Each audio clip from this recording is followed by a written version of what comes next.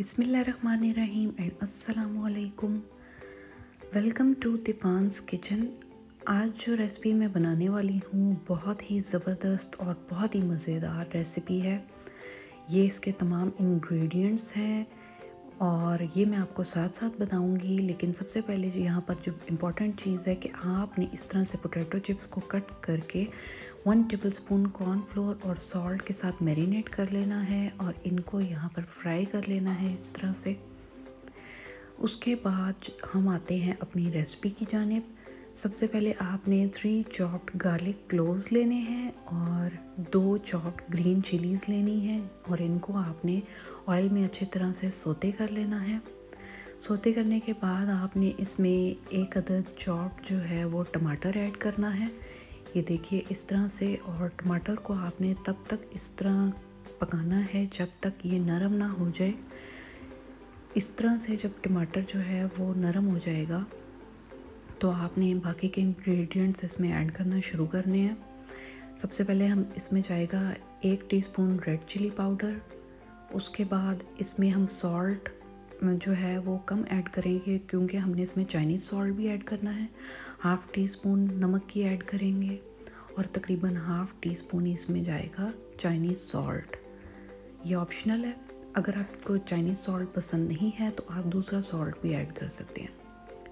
इसके बाद इसमें हमने ऐड करना है one teaspoon chilli sauce, vinegar और वन टीस्पून ही जो है वो सोया सॉस। इसके बाद वन टीस्पून के करीब मस्टर्ड पेस्ट ऐड करना है और साथ ही हमने वर्चेस्टर शायर सॉस ऐड करनी है। ये तमाम सॉसेस की वजह से ही ये रेसिपी बहुत मज़े की बनेगी और आप यकीन माने कि बहुत ही आउट क्लास इसका जो है वो टेस्ट आता है। इस तरह से करके हमने इसको जो है वो मिक्स करना है अच्छी तरह से। अगर आप चाहें तो वॉचेस्टर शायर की जगह पर बारबेक्यू सॉस भी ऐड कर सकते हैं। इसके बाद हमने इसमें वन जुविनाइल कट कैप्सिकम या बेल पेपर ऐड करनी है और वन अनियन ऐड करना है। इसमें हमने इसी तरह से जुविनाइल कट हुआ हुआ और इसको अच्छी तरह से पकाना है। एंड पे, सबसे एंड पे हम इसमें टोमेटो केचप ऐड करेंगे। आप चाहें तो चिली गार्लिक सॉस भी ऐड कर सकते हैं।